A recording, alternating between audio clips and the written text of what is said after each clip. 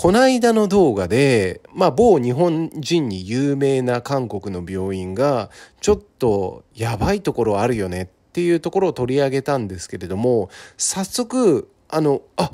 俺のことじゃんって思ったのか分かんないんですけれども某、えー、Z から始まる病院さんからですねなんかメールがあの来てたんです。で内容がちょっとゴリゴリプレッシャーかけてくるような内容だったので今回あのー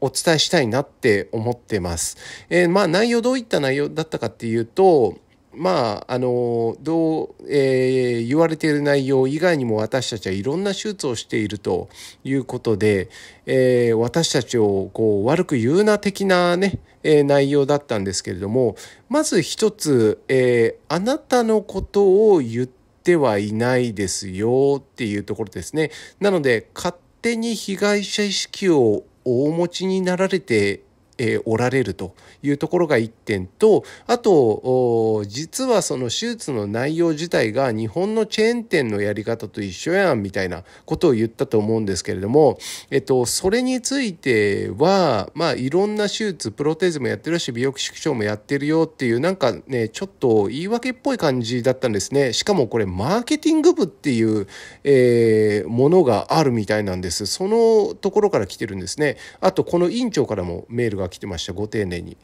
えー、どうでしょうね。まああの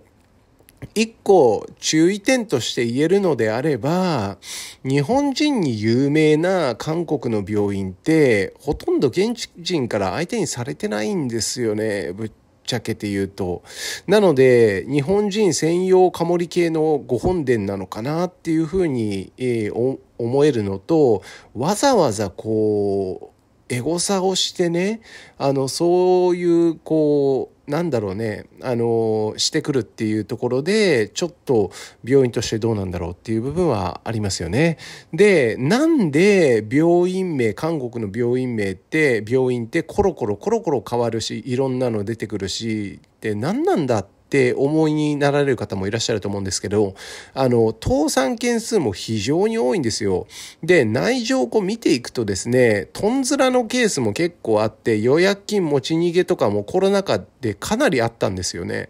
で、えっと、その、トンズラしてまた別の病院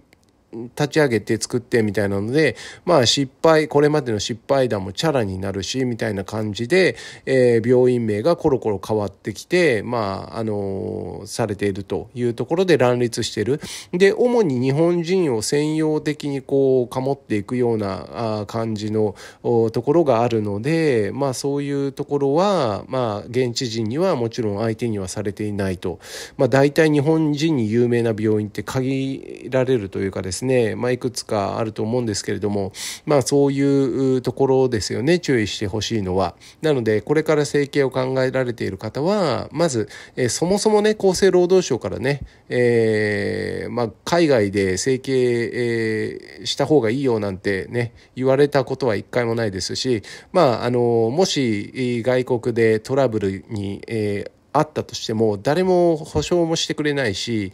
とんずらされても持ち逃げされるだけですから、まあ、それはですね十分注意してほしいなと思います。別に韓国でやりたければやってもいいと思うんですよね。はいそれだけはまあ言いたいかなと思います。具体的な整形のご相談は下の概要欄で、えーえー、受け付けていますのでお送りください。